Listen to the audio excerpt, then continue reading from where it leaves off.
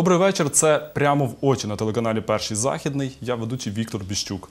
Е, Наш гість сьогодні колишній народний депутат, лідер політичного руху Альтернатива Єгор Фірцов. Пане Єгоре, добрий вечір. Вітаю вас. Е, Перше моє запитання. В лютому 2016 року ви вийшли з фракції блоку Петра Порошенка, чому я назвав власне акцентував, що колишній народний депутат. В лютому ви вийшли з фракції БПП, а в березні цього ж року вас виключили і позбавили статусу народного депутата. І моє запитання таке: от сьогодні, дивлячись на ваших колишніх колег, які себе чудово почувають фракції, які критикують президента, там не соромлячись особливо, от дивлячись на оцю історію, чи не шкодуєте ви, що ви позбулися статусу народного депутата? Ну так, тільки чесно. ну, відповідаю вам. Скажу вам так: по-перше, це найпопулярніше запитання. Чи не шкодую я, і чи е, якщо я переживав би цей, цей час, чи по-інакшому б я Чи- приймав це Чи не були б ви ефективнішими, залишаючись народним депутатом? Моя вам відповідь ні, не шкодую. І е, я знаю, що таке народний депутат. Ви можете подивитись на інших народних депутатів, чи змінюють вони систему, чи роблять вони взагалі щось, чи, чи, чи це такий, знаєте, антураж. Моє бачення, що вони взагалі е, легітимізують цю систему. Вони нам дають надію, що там щось робиться, щось можна змінити. Відповідаю вам. Ні, не можна змінити. Можна змінити тільки через вибори, які будуть ось зараз через 10-11 місяців президентські вибори, і через те, що потужна.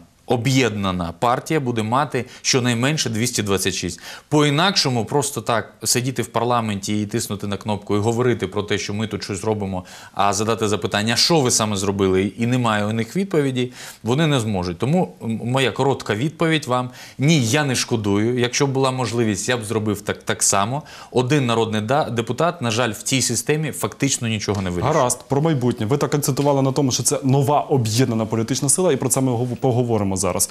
Зараз відбувається таке собі турне політичних лідерів, політичних партій, які презентують нову об'єднану платформу. Таким формальним чи неформальним лідером якої є лідер громадянської позиції Анатолій Гриценко. Нещодавно і ви доєдналися до, до цієї платформи. І в мене перше запитання: а чому Гриценко?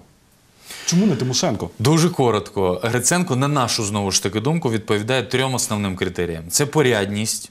Цю людину не можна звинуватити в якійсь корупції, що в нього є офшори, сліпі трасти, маєтки і так далі. Це патріотичність. Він живе в Києві, може він ходить без охорони, і можна побачити його звичайних дітей, які навчаються в звичайних школах тут та в Києві. Так і це третя порядність. Тобто, е, вибачте, не порядність, патріотизм. Тобто, коли ми говоримо про посаду президентську, мало бути просто любити країну, мало просто не красти. Ще треба бути професіоналом. Вибачте, майбутній президент буде вести перемовини з Путіним, з Трампом. Вибачте, це світові глиби. Тому це також дуже важливо. І на на нашу, на нашу думку, це ось три основні критерії. Є, ми обрали цю людину. І ще один є, до речі, критерій.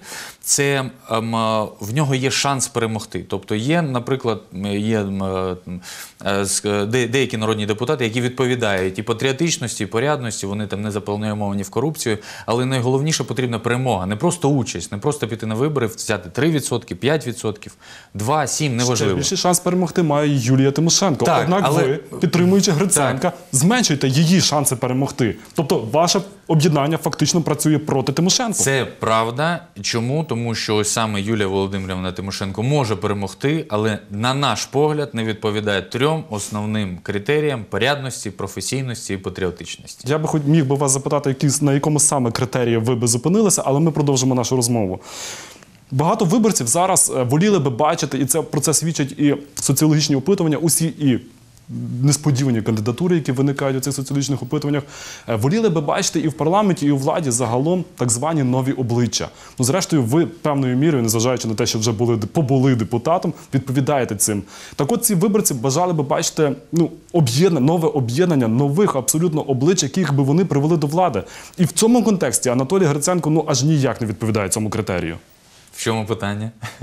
Чому ви не об'єднаєтеся? Ну чому ну, е, ви не е, об'єднуєтеся з разом з новими лідерами, з Демальянсом, тим самим Зрозумів. силою людей, а підтримали людину, яка вже давним-давно була у владі? Перша позиція. Ем, так, чи ідеальний Анатолій Гриценко? Ні, не ідеальний.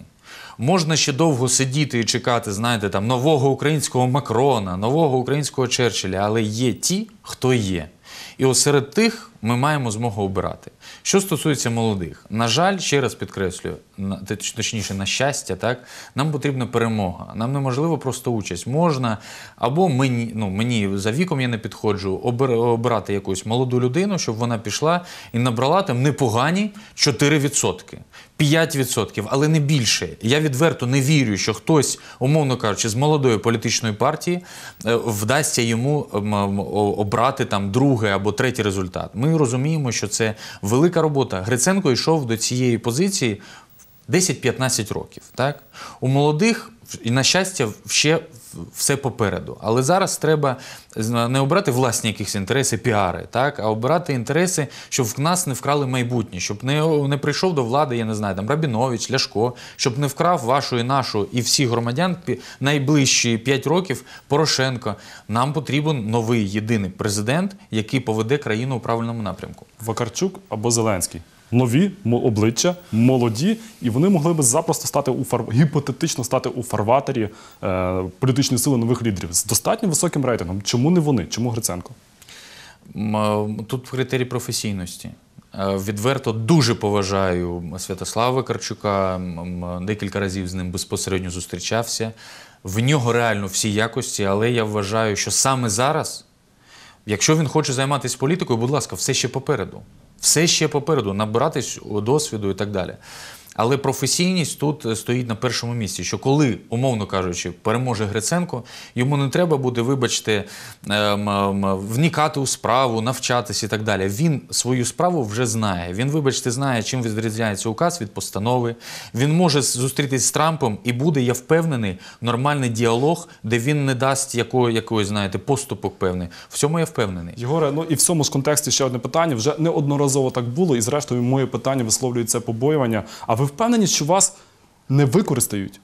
Так як використали вже дуже багато людей, які в перші п'ятірки списків вкладали нові обличчя, суперові, красиві, Чи- професійні і так далі. Чому чи ви важ... чи не переконані ви, що на вас зайдуть в парламент всі ті ж старі, старі, старі люди, які будуть будувати ту ж саму стару систему? Скажіть так, чи не використають вас, як колись використали у блоці Петра Порошенка? Ем, я вірю, що ні.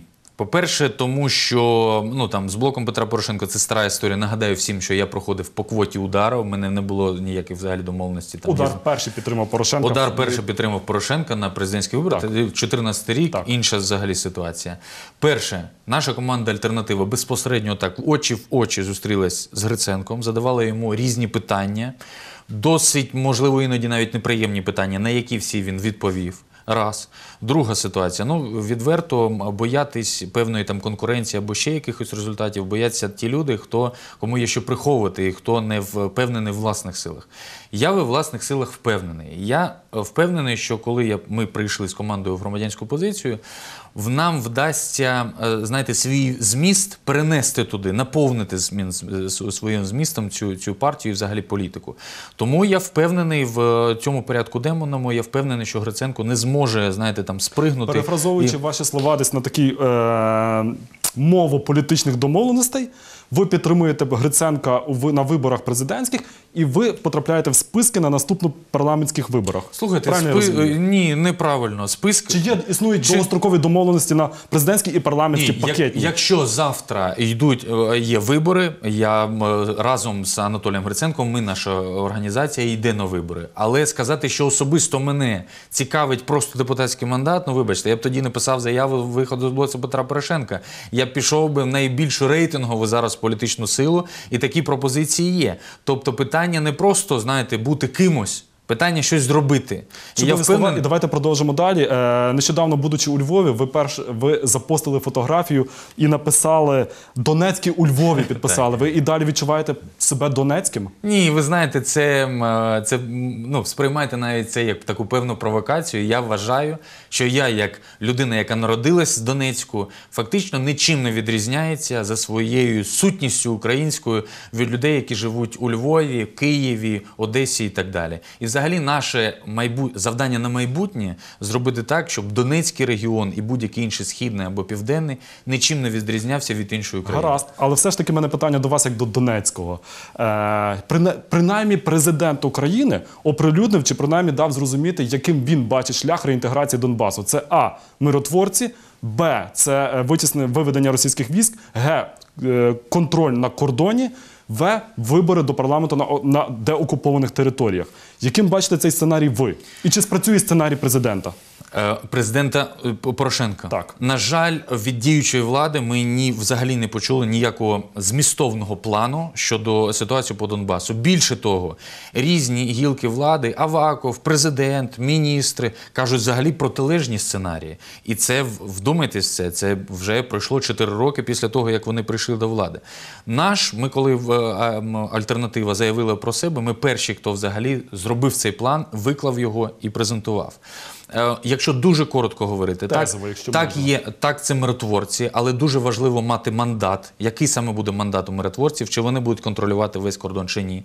Для того, щоб були миротворці з сильним мандатом, треба змінювати міжнародну площадку, на якій домовлятись. І це не Мінськ, це обов'язково залучення Сполучених Штатів Америки. І Вони третє, вже в процесі. вони в процесі, але вони в паралельному процесі. Є Мінськ в нас, є нормандський формат, є Сполучені Штати Америки, які відіграють ем, ем, іншу роль. Нам треба зібрати це докупи і виробити свій е, новий порядок денний. І третє це своє домашнє завдання. Ніхто не відміняв нашого домашнє завдання. Інформаційна політика, ну, покарання колаборантів, е, мерів, які призводили до фактично тієї війни, бо вони проводили референдуми, писали листи Путіну і так далі. Там на сході справжня п'ята колона, з якої зараз діюча київська влада, я маю на увазі президент Порошенко, банально домовляється. Йому вони вигідні, бо вони будуть йому створювати вибори і фальшувати вибори через 11 місяців. Наше завдання створити так, щоб ці люди, які спричинили цю війну, були покарані, і щоб в нас на сході, взагалі ніде, не на сході, не на півдні, не в центрі, не було цієї п'ятої колони.